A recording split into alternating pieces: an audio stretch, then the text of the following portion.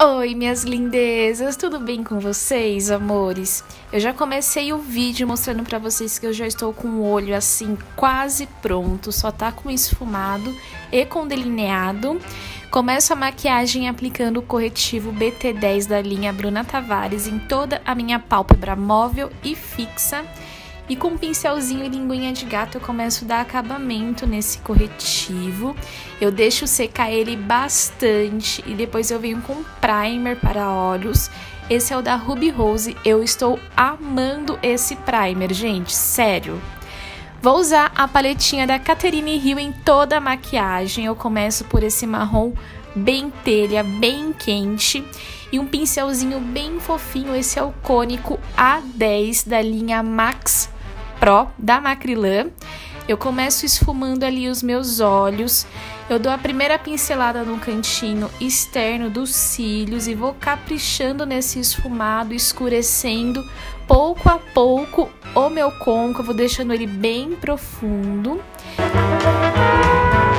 Depois do esfumado marrom, eu venho com o laranja também da mesma paletinha e começo a aquecer esse esfumado, deixando esse marrom bem quente. Eu amo esse efeito de laranja com marrom, gente, eu acho a coisa mais linda. Capricho nesse esfumado, gente, tem que esfumar muito para não deixar nenhuma marcação.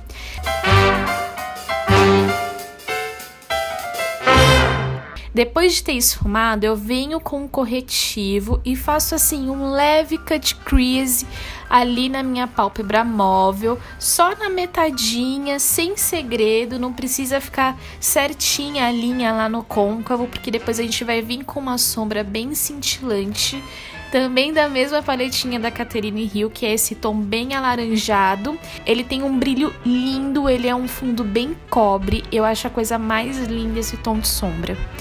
Eu vou passar essa sombra bem em cima desse corretivo que a gente acabou de aplicar e vou fazendo camadinhas. Fiz a primeira camada, depois eu venho com a segunda camada até cobrir todo o meu corretivo.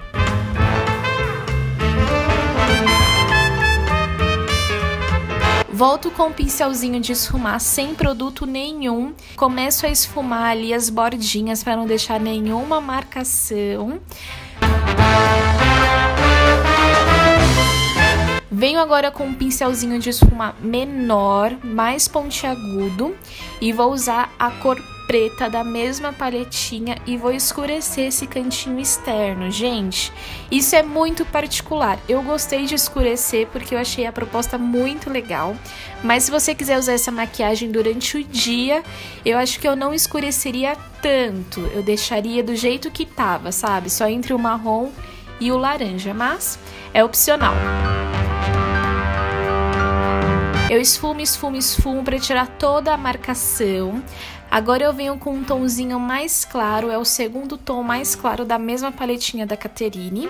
E começo a iluminar ali o cantinho da lágrima e vou passar também abaixo da sobrancelha para selar aquele corretivo que a gente passou no começo da maquiagem e para trazer também um brilhozinho, né?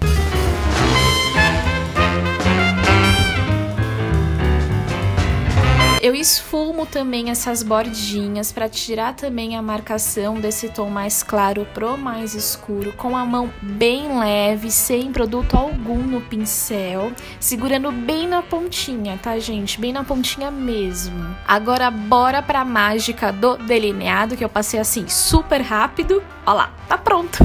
eu fiz esse delineado com o delineador da Inglot cor 77. Agora eu vou vir com um pincelzinho lápis e vou pegar os mesmos tons que a gente já passou nos olhos, que vai ser o marrom bem telha, o marrom bem quente da paleta.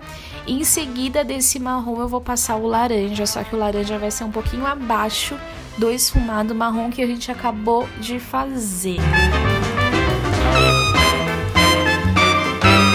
Agora eu vou corrigir minha sobrancelha. Eu gosto muito desse trio da Ruby Rose.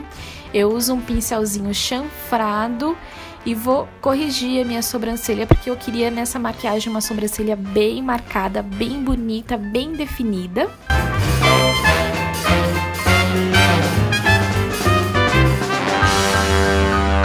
Sobrancelhas esfumadas e preenchidas. Agora bora aplicar os cílios postiço, porque sem cílios a gente não é nada nessa vida. Cílios aplicados e olhem só que linda que ficou essa maquiagem, gente, eu amei! E agora só para dar um tchanzinho, eu vou aplicar um lápis bege e vou preparar a pele também, né? Porque ninguém merece. Maquiagem pronta! Eu fiz a minha preparação de pele assim como eu fiz nos últimos vídeos para vocês aqui de maquiagem. Tem vídeo aqui no canal, inclusive, de como preparar a pele e deixar ela bem iluminada. Eu usei esse batom da Pop Feel que eu amo, ele é um nude maravilhoso e o resultado é esse, lindezas. Eu espero que vocês tenham gostado dessa proposta. Se você gostou, não se esqueça de avaliar o vídeo clicando em gostei, comentem aqui embaixo o que vocês acharam. E é isso. Um beijo grande para vocês, fiquem com Deus e até o próximo vídeo. Tchau, tchau!